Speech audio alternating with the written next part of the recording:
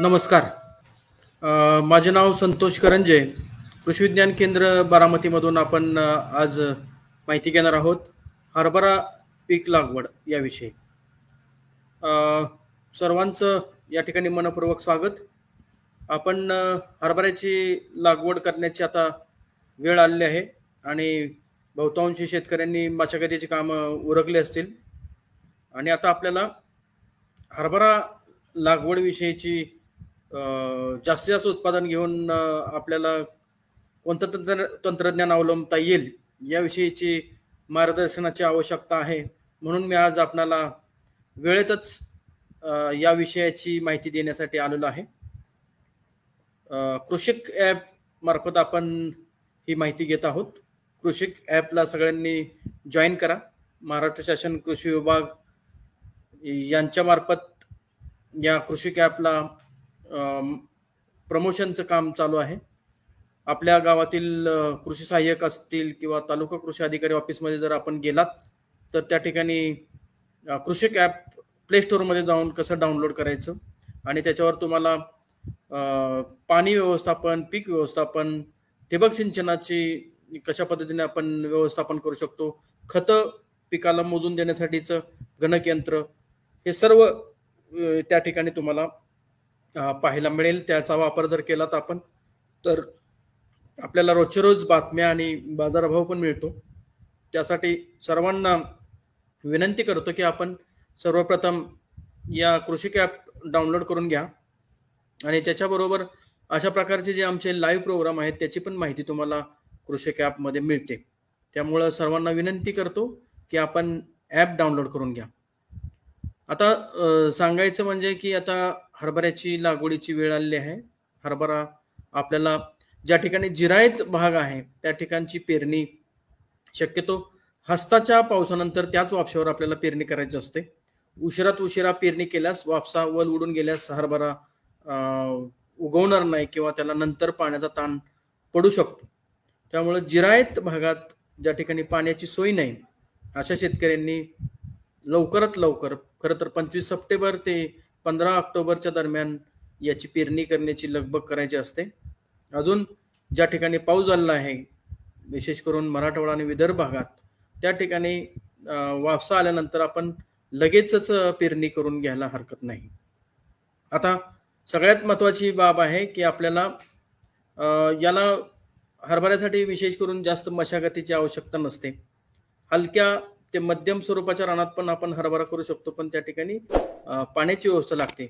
परंतु भारी रानामध्ये आपण जिरायत हरभरा घेऊ शकतो. परंतु ज्या रानामध्ये आपण हरभऱ्याची पेरणी करणार त्या ठिकाणी निचरा योग्य रान असणं आवश्यक आहे. पाणी जर आपण दिलं आणि पाणी साठून राहिलं तर त्या ठिकाणी हरभऱ्यामध्ये मर रोग जास्त प्रमाणामध्ये येतो. म्हणून सगळ्यांना विनंती आहे की आपण रान जे निवडणार किंवा शेती शेत जे निवडणार त्या शेतामध्ये आपल्याला मत मातीचं परीक्षण करून घेतलं घेणं गरजेचं आहे. आणि मातीच्या परीक्षणाच्या आधारे आपण त्या जमिनीत हरभरा घ्यायचा का नाही हे ठरवलं पाहिजे. विशेष सांगायचं म्हणजे की ज्या जमिनीचा सामू साडेआठपेक्षा जास्त आहे त्या जमिनीमध्ये हरभऱ्याची पीक येत नाही. तसेच ज्या जमिनीची शारता दोन डेसिसायमलपेक्षा जास्त आहे अशा जमिनीमध्ये हरभऱ्याचं पीक घेऊ नये. म्हणजे शारता अधिक आणि सामू अधिक असेल अशा ठिकाणच्या जमिनीमध्ये हरभऱ्याचं पीक येत नाही. त्याचबरोबर दुसरी अट अशी आहे की याच्यामध्ये त्या जमिनीमध्ये फ्री कॅल्शियम म्हणजे मुक्त चुन्याचं प्रमाण कमी असलं पाहिजे. ते ज्या भागात जास्त आहे त्या ठिकाणी हरभऱ्यामध्ये उत्पादन कमी येईल. तर हे सगळ्यात महत्त्वाची आपल्याला अट आहे. जमीन मशागत करताना सहा इंचाचे खोलीवर आपण नांगरट जास्तीत जास्त आठ इंच याच्यापेक्षा जास्त खोलीवर जाऊ नये. आणि पेरणीच्या अगोदर राना रानाच्या मध्ये कुळवाच्या दोन पाळ्या रोटावेटर असेल तर रोटावेटर मारून आपण रान पूर्णपणे ढेकळमुक्त त्याच्यामध्ये काडी कचरा दसकट या गोष्टी नसतील अशा रानामध्ये हरभरा लावावा. दुसरं हरभऱ्याच्या रानामध्ये पुन्हा हरभरा लावू नये. गेल्या वर्षी जर त्या रानामध्ये हरभरा लावला असेल तर पुन्हा त्याच रानामध्ये हरभरा लावून लावू नये. कारण आपण त्या रानात हरभरा लावला तर मागच्या वर्षीचे जे काही त्या अळीचे कोश आहेत ते त्याच रानामध्ये असतील. आणि ते कोश पुन्हा त्याच्यातून पतंग येऊन पुन्हा ते अळ्या जमिनीमध्ये येतील आपल्या त्या शेतामध्ये जास्त होतील. त्यामुळं शक्यतो त्याच त्याच रानामध्ये आपण हरभरा लावू नये. किंवा त्याच हरभरा त्या रानामध्ये जर आपण हरभरा लावणार असू तर रानाला शक्यतो खोल नांगरट करून त्याचे जे कोश आहेत ते आपण उन्हामध्ये तापू दिले पाहिजेत. शक्यतो उन्हाळ्यामध्ये जर त्या रानाची नांगरट चांगली केली असेल तर ते कोश उन्हामध्ये तापून मरून जातात. किंवा बगळे किंवा पक्षी हे कोश वेचून खाऊन ते मारून टाकू शकतात. त्यामुळं पुन्हा पुन्हा हरभऱ्याच्या रानात जर आपण पेरणी करणार असू तर ते रान बदललं पाहिजे किंवा मग ते उन्हाळ्यामध्ये रान तापू दिलं पाहिजे. त्याला आपण कल्चरल मेथड म्हणतो की ज्या कल्चरल मेथडद्वारे आपण त्या पिकेत पिकातल्या किडीचं रोगाचं नियंत्रण करतो. कारण बुरशी पण जमिनीतून जास्त प्रमाणामध्ये येते. त्यामुळं मर हा हरभऱ्यामध्ये जास्त येण्याची शक्यता असते. त्या त्यासाठी या रानामध्ये आपण खोल नांगरट उन्हाळ्यामध्ये करून तापू देणे गरजेचं असतं. परंतु मशागत करताना शक्यतो उथळ नांगरट करून आपल्याला पेरणी करायला पाहिजे. कारण पहिल्या सहा इंचाच्या थरामधली माती ही हरभऱ्याच्या रानासाठी महत्त्वाची आहे. त्याचबरोबर सगळ्यात महत्त्वाचं बाब आहे की आपल्याला आता वाण कुठला निवडला पाहिजे? कारण बऱ्याच शेतकऱ्यांना असं वाटतं की आपल्याला वाणाची निवड करताना तो काबुली घ्यायचा की मोठा टपोरा दाणा असणारा पाहिजे किंवा गावरांसारखा छोटा दाण्याचा वाण पाहिजे. तर आपल्या माहितीसाठी सांगतो की आपल्याकडे महात्मा फुले कृषी विद्यापीठाने विकसित केलेले विजय आणि दिग्विजय हे जिरायत आणि बागायत या दोन्ही हंगाममध्ये येणारे वाण आहेत. ते आपण निवडू शकतो. जे गावरान प्रकारातले येतात म्हणजे तांबड्या रंगाचे. तसेच आत्ता नुकताच विकसित केलेला फुले विक्रम हा मशीनद्वारे हार्वेस्टिंग करायचं असतं. आपल्याला मशीनद्वारे जर हरभऱ्याची कापणी मळणी करायची असते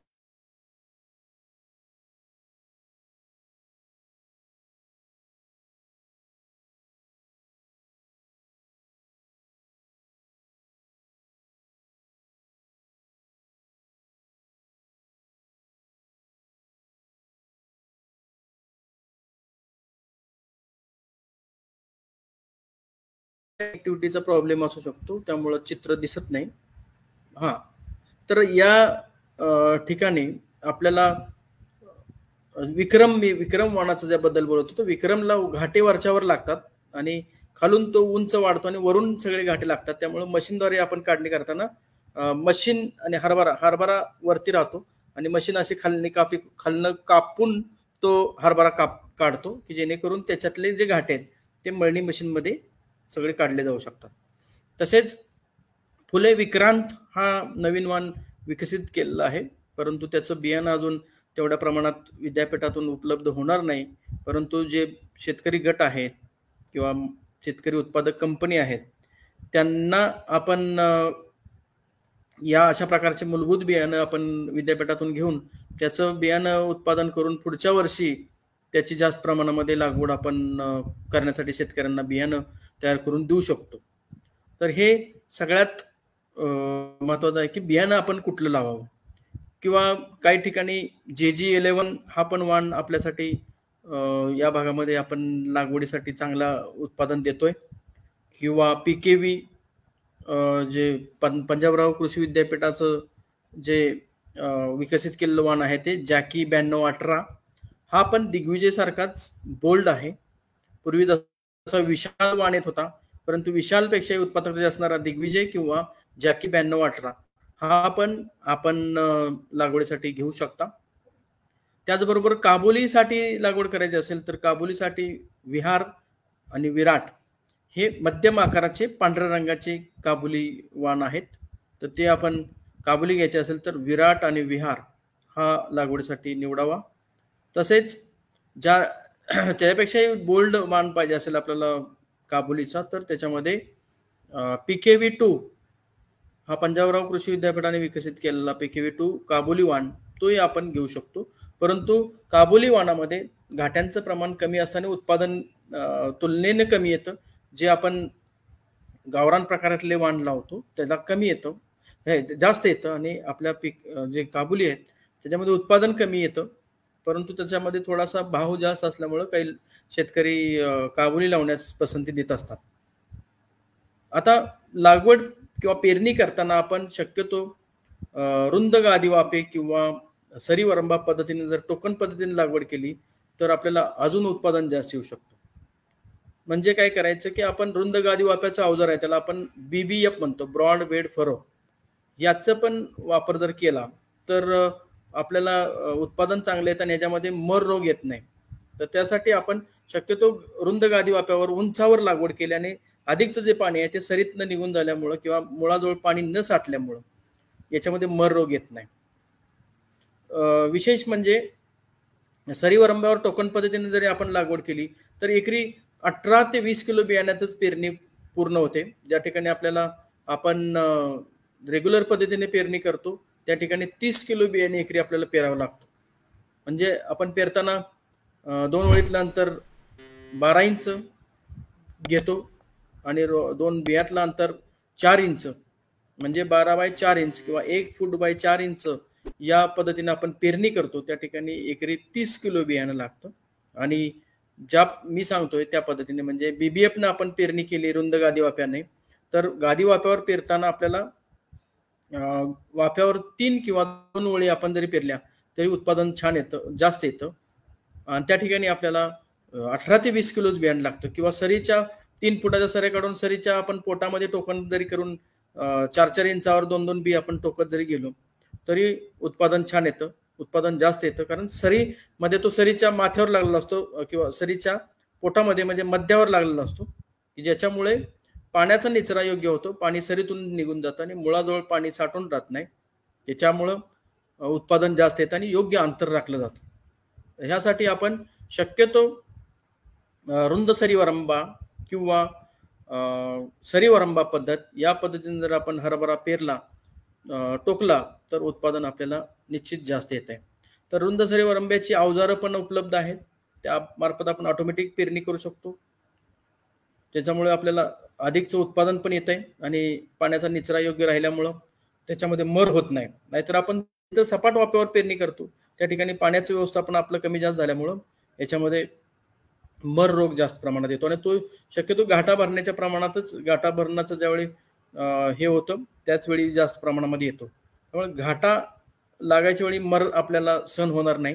त्याच्या आधीच आपण शक्यतो सरीवरंबा किंवा रुंद सरीवरंब्यावर हरभऱ्याची टोकन पद्धतीने लागवड करा. निश्चित उत्पादन जास्त येतं.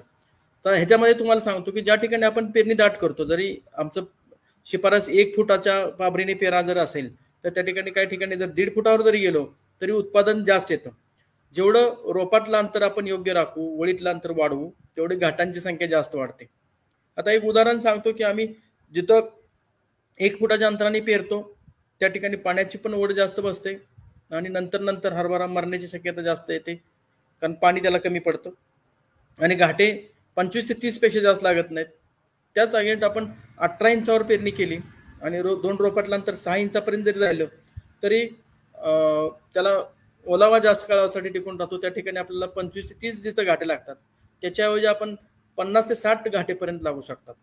आणि पाणी योग्य असेल तर दिग्विजयसारख्या वाणांना आम्ही पाहिलं की एका एका ढाळ्याला दोनशे ते अडीचशे घाटे लागतात.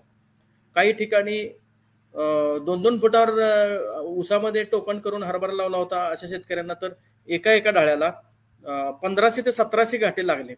म्हणजे उत्पादन हे तुमच्या लागवड अंतरावर पण अवलंबून असतं. जेवढं तुम्ही दाट लागवड कराल तेवढी जास्त तुमच्या ह्याच्यामध्ये उत्पादन कमी येईल. जेवढी पातळ पेरणी असेल तेवढं उत्पादन जास्त येतं. तर ही सगळ्यात महत्वाची बाब आहे. दुसरं हरभरा ज्यावेळी पेरतो आपण त्यावेळी अळीच्या व्यवस्थापनासाठीची जी काही सापळा पिकं आहेत ती लावणं गरजेचे असतात. ती नंतर करता येत नाहीत. त्यामुळे पेरणी करताना आपण शक्यतो बाजरी किंवा ज्वारीचे आपण शंभर ते दीडशे बी हे हरभऱ्याच्या पेरणीसोबत त्याच्यामध्ये मिक्स करून पेरावेत की आपल्या इथे कुठंतरी ज्वारी बाजरी उगवून येईल. त्याचा फायदा असा होतो की एकात्मिक कीड व्यवस्थापनासाठी त्याचा फायदा होतो. जिथे ज्वारी उंच वाढते किंवा बाजरी उंच वाढते. त्या उंच वाढलेल्या बाजरीच्या कणसांवर पक्षी येऊन दाणे वेचून खाण्यासाठी येतात. आणि त्याच वेळी त्याच पिकामधले ज्या काय आळीचे छोटे आळीचे आळी आळ्याच्या काय म्हणूया आपण छोट्या आळ्या आहेत किंवा लार्वा म्हणतो आपण त्या त्या पिकावर येतात. त्या वेचून खाण्यासाठी पण काही पक्षी त्या बाजरीच्या किंवा ज्वारीच्या ताटावर येऊन बसतात. त्यामुळं कुठंतरी आपण ज्वारीची ताटं पण पेरणीसाठी घ्यावीत की जेणेकरून त्याच्यावर येऊन पक्षी बसतील आणि पक्षी आळ्या वेचून खातील.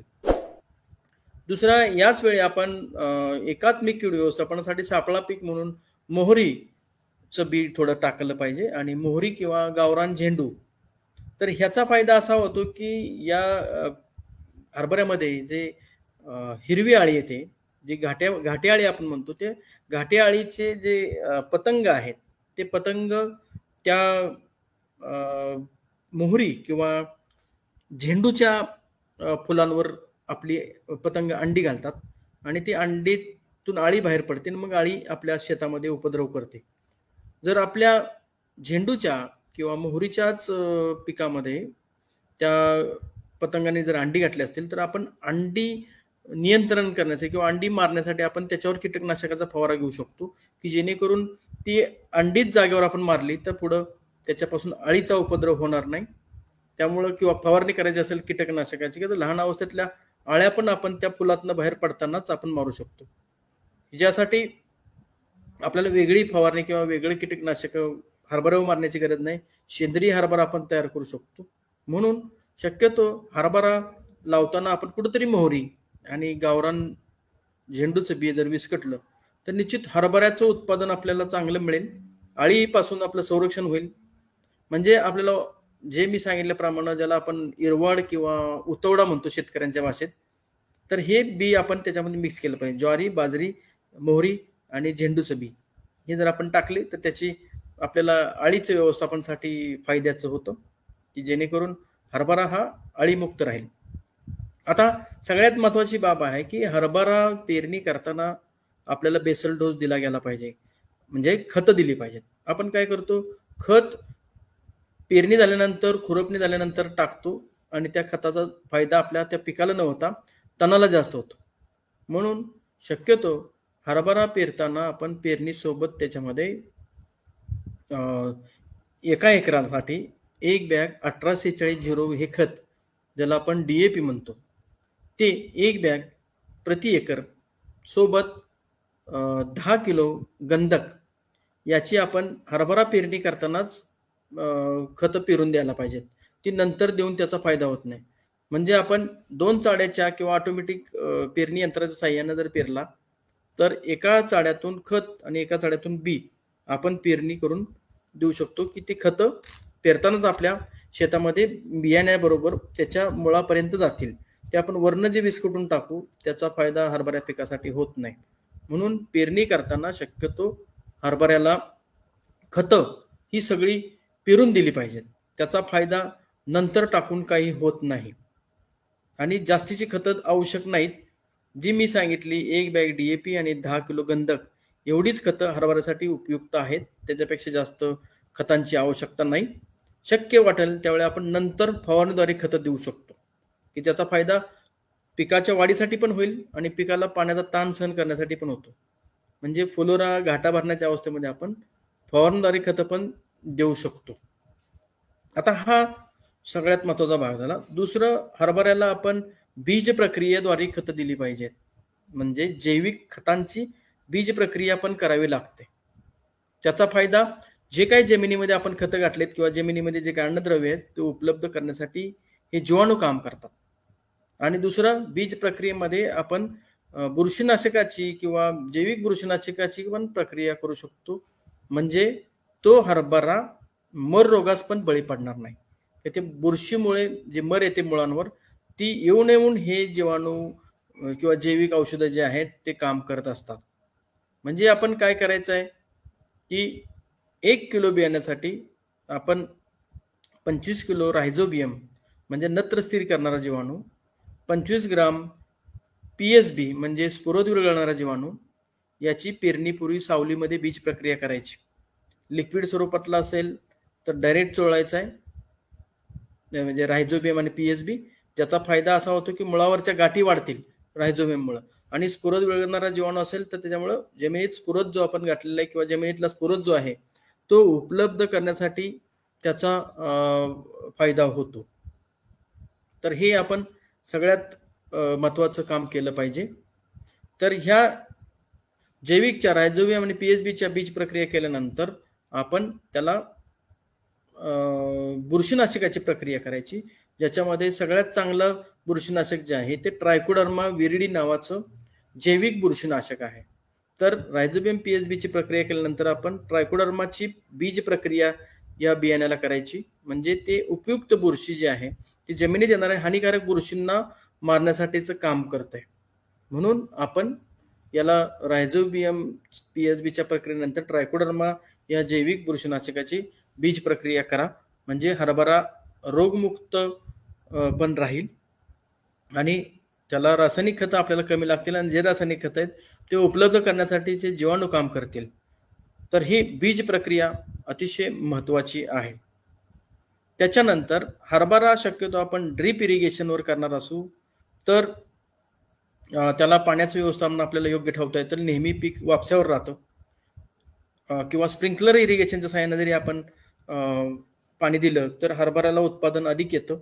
आणि ड्रीप आणि स्प्रिंकलर जर असेल तर आपल्याला सारे वरंबे हे बाकीच्या गोष्टी करण्याची गरज नाही. त्याचा खर्च कमी होईल. डायरेक्ट आपण ठिबकच्या लाईन अंतरून त्याच्याकडेला दोन वळी टोकन जर केली किंवा बीबीएफच्या सहाय्याने बेड काढून आपण त्याच्यावर ठिबकची एक नळी अंतरून चार फुटावर आपण वापे टाकून त्याच्यावर पण टोकन टोकनच्या सहाय्याने आपण हरभरा लावू शकतो.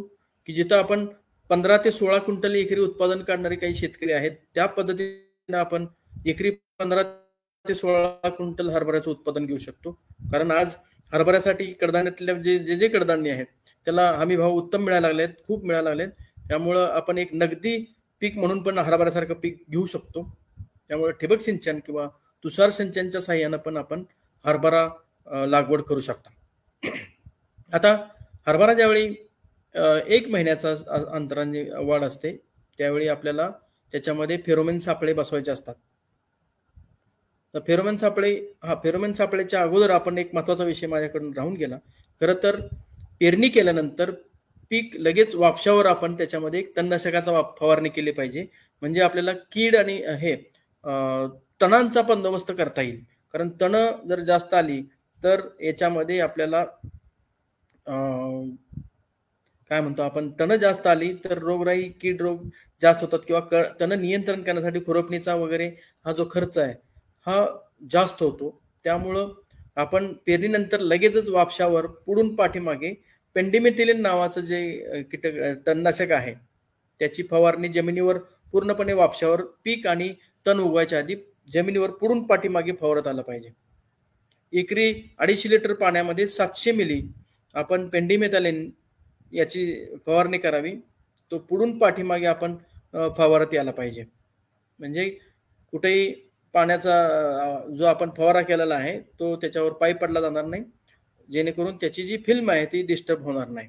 आणि ती वापशावरच झालं पाहिजे ओलीवर असलं पाहिजे. ओल नसेल तर तणनाशक फवारणीचा फायदा होणार नाही.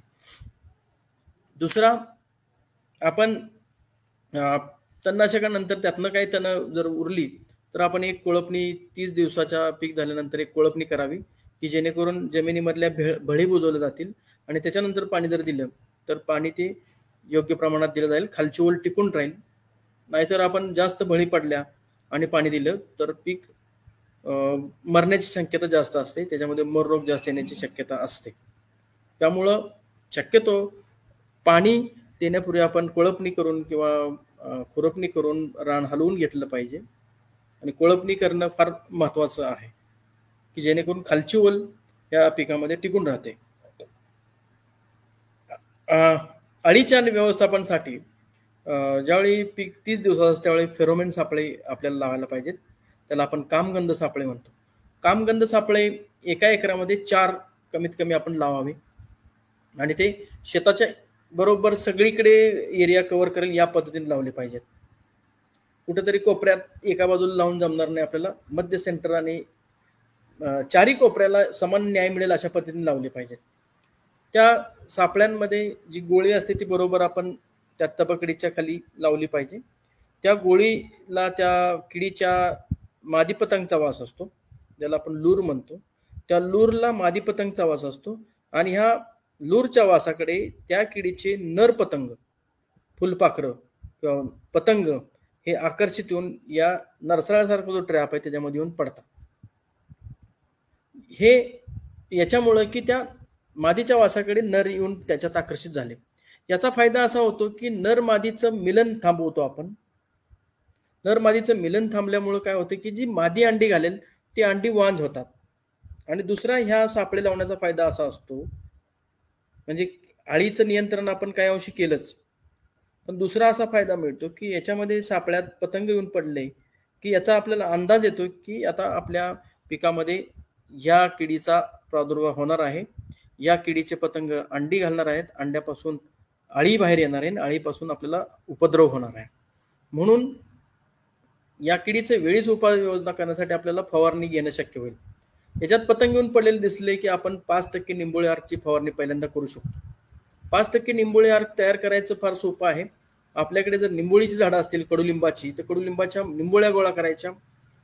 त्या गोळा केलेल्या निंबोळ्यापैकी पाच किलो निंबोळी आपण घ्यायची पाच किलो निंबोळी बारीक कुटायची आणि त्याला पाण्यामध्ये रात्रभर भिजू घालायची आणि दुसऱ्या दिवशी त्याचा अर्क वस्त्रगाळ करून घ्यायचा. आणि निघालेला जो अर्क आहे तो शंभर लिटर पाण्यामध्ये मिक्स करून त्याचं द्रावण तयार करायचं. आणि त्याच्यामध्ये आपला साधा पिवळा जो निरमा असतो कपड्याचा तो पंचवीस ग्राम शंभर लिटर पाण्यामध्ये जर आपण निरमा टाकला तर त्याच्यामध्ये ते निंबोळी अर्क पूर्णपणे पाण्यामध्ये मिक्स होतो आणि तो अर्क आपण फवरला तर अळीचे नियंत्रणासाठी फार निंबोळी अर्कचा फायदा होतो. ते अंडी नप अंडी मारण्याचं पण काम करतो. शिवाय आळीचा आळीमध्ये नपुसुकत्व आणण्याचं काम पण तो करत असतो. दुसरं सगळ्यात महत्वाची बाब आहे की ह्या कडवटपणा असल्यामुळं निंबोळी अर्कामध्ये ती आळी आपल्या त्या ह्याच्यामध्ये उपद्रव करताना शक्यतो लांब पळते. त्याचा त्या वासामुळे ती त्याच्याजवळ थांबत नाही. त्याच्यानंतरचा जो भाग आहे आळी लहान अवस्थेत असते. त्यावेळी आपण एच एन पी व्ही नावाचं जैविक औषध असतं. त्या एच एन पी व्हीची आपण फवारणी केली तर हा एच एन पी व्ही विषाणू आहे. हा विषाणू दुसऱ्या आळ्यांना होतो आणि आळ्या विषाणून मरतात. जसं कोरोना एका संक्रमित व्यक्तीपासून दुसऱ्याकडे गेला की तो होतो तसा हे आपण संक्रमण करू शकतो. एच एन पी व्हीच्या विषाणूंचा आपण फवारणी करून आळ्यांना आपण विषाणूग्रस्त करून मारू शकतो. आणि त्या मरताना कशा मरतात? की त्या विषाणूग्रस्त आळ्या झाल्या की त्या अशा आकडल्या जातात स ताट होऊन. चॉकलेटी रंगाच्या होतात आणि त्या उलट्या लटकतात वरच्या बाजूने हरभऱ्याच्या ढाळ्यांवर तर त्या अळ्या आपण लहान अवस्थेत शक्यतो मारू शकतो. म्हणजे साधारणपणे एक सेंटीमीटरची अळी असते त्यावेळी जर एच एन पी व्ही फवारला तर अळीचं जैविक पद्धतीने नियंत्रण होतं. एच एन पी व्ही फवारण्यासाठी आपण दोनशे लिटर पाण्यामध्ये दोनशे मिली पाचशे एली नावाचं द्रावण असतं पाचशे अळ्यांचं द्रावण. तर ते दोनशे लिटर पाण्यामध्ये आपण दोनशे मिली एच एन पी व्ही घ्यायचं आणि त्याच्यामध्ये नीळ जे असते कपड्याची आपली ती पन्नास मिली घ्यायची. कपड्याची लिक्विड स्वरूपातली जी नीळ आहे ती दोनशे लिटर पाण्यामध्ये पन्नास मिली घ्यायची. आणि चार अंड्यांचा पांढरा बलक. तो जर टाकला तर त्या विषाणूला प्रोटीन पुरवण्याचं काम अंडी करतात. आणि तसंच तयार केलेलं द्रावण आपण जर फवारलं तर आळ्या विषाणूग्रस्त होऊन मरतात. म्हणजे जैविक पद्धतीनं आपण अळींचं नियंत्रण करू शकतो. आणि त्याच्यापेक्षा पुढे जाऊन आपण म्हणतो की नुकसान पातळीच्या पुढे आळी झाल्या मोठ्या आळ्या झाल्या त्यावेळी क्लोट्रॅनिलिपोल प्रोल नावाचं औषध आहे. तर तो किंवा आपण बाजारामध्ये बऱ्याच नावानं आहे. तर ते आपण क्लोरॅन ट्रॅनिलिप्रोल या नावाचं जे औषध आहे त्याची आपण फवारणी करू शकतो. कदाचित माझ्याकडनं त्याचं नाव घेण्यात चुकलं असेल तरी पुन्हा मी सांगतो. क्लोरॅन ट्रॅ ट्रिनिलिप्रोल म्हणजेच बाजारामध्ये कोराजन नावानं असतं कारण ही केमिकल नावं आपल्या कदाचित लक्षात राहणार नसतील. परंतु कोराजन आहे त्या सम दुसऱ्या कंपनीत जर असेल तर त्याची पण आपण याच्यावर फवारणी करू शकतो. किंवा एम एम ॲक्टिन बेन्झोएट नावाचं एक औषध आहे त्याची पण आपण फवारणी करू शकतो. एम एम ॲक्टिन बेन्झोएट आता एक युवराज नकाटेन साहेबांचा प्रश्न आहे की एम एम ॲक्टिन बेन्झोएट आपल्याला मार्केटमध्ये केविकेमध्ये मिळेल का? तर हे ॲक्च्युली बऱ्याच ठिकाणी कृषी विभागामार्फत पण पन्नास टक्के दिलं जातं. महाराष्ट्र शासनाचं जे कृषी उद्योग आहे त्याच्यामार्फत पण तुम्हाला पन्नास टक्के दरामध्ये एम एम एक्टीन बेन्झोएट मिळेल. आपल्या तालुका कृषी अधिकाऱ्यांशी आपण संपर्क करा. किंवा कुठल्याही औषध दुकानामध्ये पण हे उपलब्ध आहे. तसेच मी जे सांगितलेले सापळे आहेत हे सापळे कृषी विज्ञान केंद्रामध्ये तुम्हाला बारामतीमध्ये मिळतील. किंवा काही ठिकाणी कृषी सेवा केंद्र जे आहेत त्यांना आपण मागणी केली तर ते तुम्हाला उपलब्ध करून देतील. आता मला माहीत नाही आपण कोणत्या भागातून आहात परंतु सापळे तर बऱ्यापैकी कृषी खात्यामार्फत पण आपल्याला उपलब्ध करून दिले जातात. तर त्यांनाही संपर्क करा तुम्ही. तसाच प्रश्न एक आहे की डिसेंबरमध्ये ऊस गेल्यानंतर हरभरा केला चालेल का? तर माझी विनंती आहे युवराज नकाते साहेब त्यांचा कोणाचा प्रश्न आहे हा? हा जो प्रश्न आहे हा अभिजित यादव. तर अभिजितजी डिसेंबरमध्ये हरभरा शक्यतो केला तो उत्पादन कमी येतं. खरं तर मला मगाजी सांगताना राहून गेलं की पंधरा ऑक्टोबर ते पंधरा नोव्हेंबर ही त्या हरभरा पेरण्याची योग्य वेळ आहे. उशिरात उशिरा आपण पंधरा नोव्हेंबरपर्यंत हरभरा पेरावा. जास्तीत जास्त तीस नोव्हेंबर ही योग्य वेळ आहे. परंतु डिसेंबरच्या पुढे हा हरभऱ्याला वातावरण आपल्याला मिळत नाही. थंडी जशी कमी होईल तसं उत्पादन कमी होईल. त्याच्यानंतर रायझोबियम पी एच बी आणि ट्रायकोडर्माची प्रक्रिया केली तर चालेल का? तर तो प्रश्न आपण आधी अगोदरच टाकलाय मला वाटतंय. मी तुम्हाला त्याची माहिती दिली आहे. एच एन पी व्ही आपण के मध्ये पण उपलब्ध होईल किंवा पी सी आयमध्ये पण आहे. पेस्ट कंट्रोल इंडिया लिमिटेड आहे. महात्मा फुले कृषी विद्यापीठ राहुरी अंतर्गत राहुरी आणि पुणे ॲग्रिकल्चर कॉलेजमध्ये पण एच एन पी व्हीची उपलब्धता आहे. आपण तिथून घेऊ शकता. तर प्रश्नाच्या बाबतीत थोडक्यात आपण थोडासा ब्रेक घेतला आणि तुम्हाला प्रश्नाचं सांगितलंय. अजून काही जे टेक्नॉलॉजी आहे त्याच्यावर आपल्याला बोलण्याची गरज आहे. अजून अच्छे फसल और ग्रोथ के लिए जैविक उपचार से बीमार मुक्त फसल होगी और क्वालिटी भी सुपर रिज़ल्ट सात से आठ दिन में अच्छे दिखेंगे. नो केमिकल फर्टिलाइजर्स आपने आपका नंबर दिया है तो हाँ ठीक है. आपका क्वेश्चन नहीं है इसमें. ओके तो ये क्वेश्चन आपकी जो है उसके शायद मला वाटते की सगळ्यांना उत्तर मिळाले असतील शेंडे हरभऱ्यामध्ये खुडल्यास उत्पादन वाढेल का. तर शेंडे खुडण्याची ही प्रॅक्टिस प्रॅक्टिकल नाही आहे शेंडे खुडण्याची काही गरज नाही. शेंडे खुडले आणि उत्पादन वाढतं असं काही नाही आहे आपल्याला याच्यामध्ये ते शक्य नाही. ते तुरी सारख्या पिकामध्ये शेंडे खुडणं हे प्रॅक्टिकल आहे. ते करा केल्यास उत्पादन वाढतं. कारण त्याच्यामध्ये फुटवे येतात. पण याच्यामध्ये आपल्याला अंतर जर योग्य राहिलं गेलं किंवा अंतर जास्त असेल तर फुटव्याचं प्रमाण जास्त येतं. त्या ठिकाणी शेंडे खुडण्याची गरज नाही आहे तसंच बागायती वाण्याची पेरणी कुठली करावी? मगाशी आपण ऐकलं असेल किंवा माझं लेक्चर जर तुम्ही पहिल्यापासून ऐकलं तर लक्षात येईल. तर बागायतामध्ये आपल्याला दिग्विजय फुले विक्रम फुले विक्रांत किंवा विशाल या वनाची पेरणी आपण करू शकतो. आणि दिग्विजय विशाल किंवा विक्रम हे आपल्याला जिरायत आणि बागायत ह्या दोन्हीसाठी पण उपयुक्त आहे. तर असं नाही की आपण जिरायतासाठी आणि बागायतसाठी वेगळा करायची गरज आहे. तर दोन्हीसाठी उत्तम वाण आहेत हे. त्याच्यानंतरचा जो महत्त्वाचा भाग जो आहे हरभऱ्यामध्ये आपल्याला फवारणारे खतं करायला पाहिजेत द्यायला पाहिजेत. ते ज्याच्याकरून फुटवे आणि घाटे लागण्याचं प्रमाण जास्त येईल. ते ह्याच्यामध्ये आपण हरभरा ज्यावेळी फुलरावस्थेत असतो त्यावेळी तेरा झिरो पंचेचाळीस आणि कॉम्बी याची फवारणी करावी. कॉम्बी म्हणजे ग्रेड टूचं जे आपलं मायक्रोन्युट्रेंट आहे. तेरा शून्य पंचेचाळीस पंच्याहत्तर ग्राम प्रति पंप पंधरा लिटरचा पंपाला पंच्याहत्तर ग्राम आणि पंच्याहत्तर मिली आपण मायक्रो प्लस किंवा मायक्रोन्युट्रेंटचे सहा घटक असणारं जे विद्राव्य खत आहे त्याची फवारणी आपण घाटे भरण्याची अवस्था आणि फुलर अवस्था या दोन अवस्थेत जर केली तर हरभरामध्ये जास्त घाटे लागतात. तसंच ते पीक पाण्याचा ताण सहन करतो. त्याच्यानंतर नुसता हरभरा करण्यापेक्षा आपण हरभरा अधिक आंतरपीक आपण घेऊ शकतो.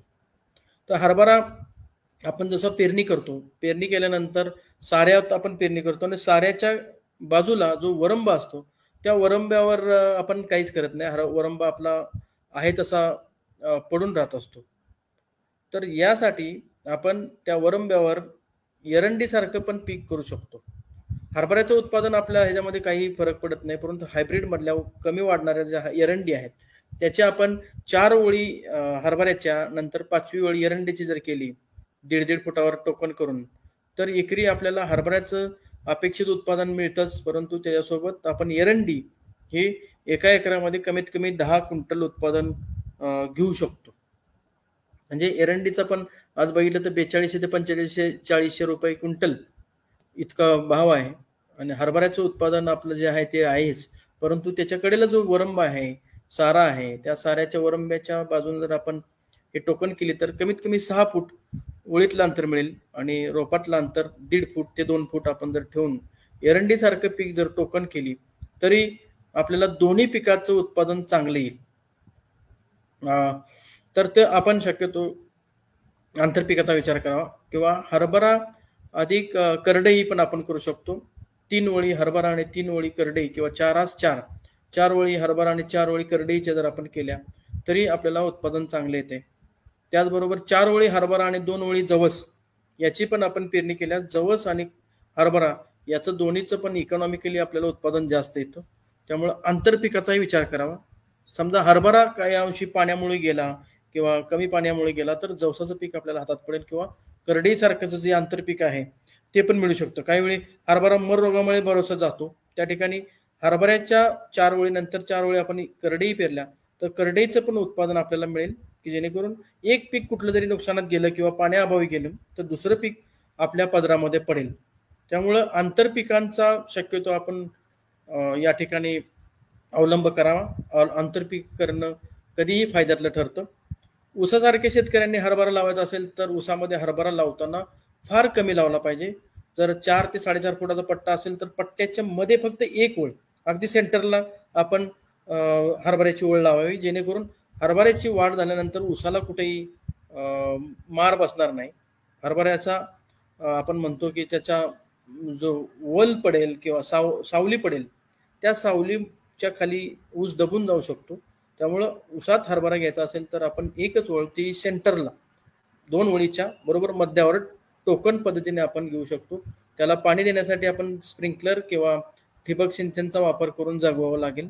किंवा उगवल्यानंतर त्या खालच्या ओलीवर पण हरभरा येतो सरीतल्या ओलीमध्ये. फक्त उगवणीपर्यंत बेडवर जर पाणी असेल तर हरभरा उगवून येतो. उगवल्यानंतर उसाच्या थेट्यावर किंवा उसाच्या ज्या खालच्या ओलीवरच हरभरा येऊन जातो. त्यामुळे त्याला पाणी जास्त देण्याची गरज राहत नाही. तर पण लावताना अगदी उसाजवळ कधीही लावायचं नाही. उसासाठी मगाशी मी सांगितलं की स्प्रिंकलरने आपण पूर्ण पुन्हा लेक्चर ऐका. कारण प्रश्न आपण जे विचारताय ते पुन्हा पुन्हा येत आहेत संतोष सूर्यवंशी यांनी विचारलाय की उशाल उसाल हरभऱ्याला स्प्रिंकलरने पाणी देता येईल का? तर निश्चित पहिलं सांगितलं मी की ठिबक सिंचन आणि स्प्रिंकलरचा वापर केल्यानं उस हरभऱ्याचं उत्पादन वाढतं. योग्य प्रमाणात पाणी दिलं जातं आणि ज्याच्यामुळं त्याच्यामध्ये मर येत नाही. आपण मोकळं पाणी देताना ज्यावेळी चुका होतात की आपण पहिलं पाणी वीस ते पंचवीस दिवसांनी द्यायला लागतं दुसरं पंचेचाळीस दिवसांनी द्यायला लागतं आणि तिसरं पासष्ट दिवसांनी. पण ह्या पाण्याचा अंतरोल वाढताना ज्यावेळी आपण पाणी अधिकच देतो किंवा पाण्याची ओढ बसून आपण पाणी दिलं गेलं तर याच्यामध्ये बळी पडल्यानंतर हरभऱ्यामध्ये मर जास्त होते. वापसा जर नेहमी टिकून ठेवला तर हरभऱ्यामध्ये कधी मर येत नाही. किंवा त्याला बीज प्रक्रिया वगैरे करणं तर गरजेचं असतं. आणि मी जे सांगितलेले वाण आहेत हे सगळे मर प्रतिबंधक आहेत. त्याला आपल्याला कुठेही नुकसान नाही. किशोर खरातांचा प्रश्न अगदी योग्य आहे की एरंडीची सावली हरभऱ्यावर पडणार नाही का? तर सगळ्यात आम्ही दोन वर्षापासून याच्यावर प्रयोग केले आहेत. आपण हरभरा पेल्यानंतर हरभऱ्याच्या वरंब्यावर ज्यावेळी एरंडी टोकणार त्यावेळी एरंडी ही वाढ सुरुवातीची स्लो आहे.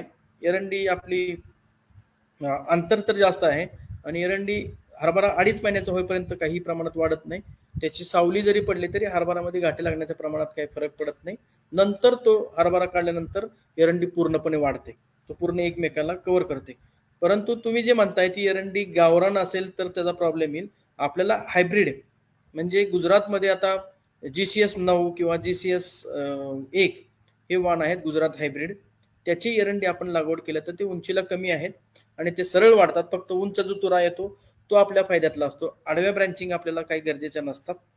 तर त्यासाठी एरंडीचं वाण कुठला घ्यायचं हे सगळ्यात महत्वाचं असतं. ज्ञानेश्वर पाटीलजी आपण विचारलेला प्रश्न आहे पेरताना खतं कुठली द्यावीत? तर माझा लेक्चर पुन्हा तुम्ही ऐका. त्याच्यामध्ये सगळं तुम्हाला खताची पण माहिती मिळेल.